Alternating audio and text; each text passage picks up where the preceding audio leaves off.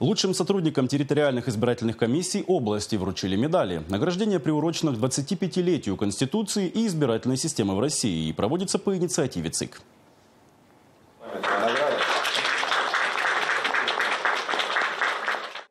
Получают медаль 25 человек. Это председатели, секретари и члены участковых и территориальных избирательных комиссий области. Награждаемые приехали из Пласта, Верхнего Уфалея, Низепетровска, Брединского, Кунашакского, Кусинского районов, Чебаркуля, Златоуста и Кусы.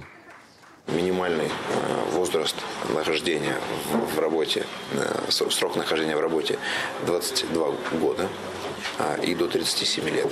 У нас люди наиболее опытные были сегодня награждены памятными медалями. После награждения для присутствующих провели обучение.